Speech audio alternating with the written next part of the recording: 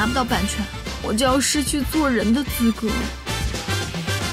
让你姐亲自过来给我赔礼道歉。消杯酒好喝。你知道让一个人从娱乐圈消失有多简单吗？我们《江湖少年行》筹备了三年，如果因为谁的疏忽导致项目失败，咱们就一起滚蛋。我喜欢你，并不是因为你是十全十美的，而是因为你是赖正一。谢谢你的肩膀。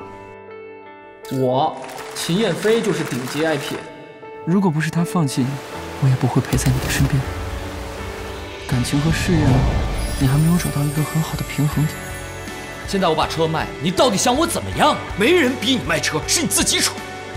这是我第一次，我认认真真的想好好做一件事，不想大家都瞧不起我。你没有让我失望，你只是太单纯了，掉进了张雪迎的陷阱里。江离离的出现把我一棒打醒，原来一切都是我的幻想。